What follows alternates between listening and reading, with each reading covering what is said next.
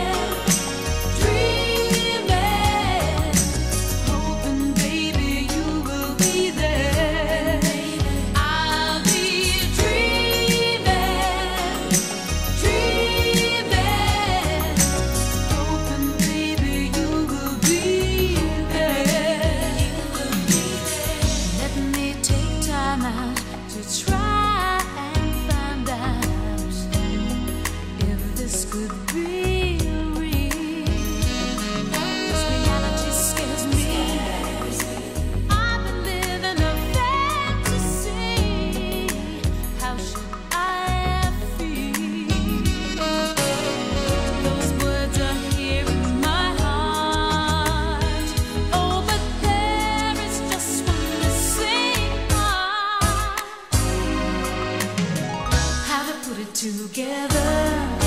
How to say it right.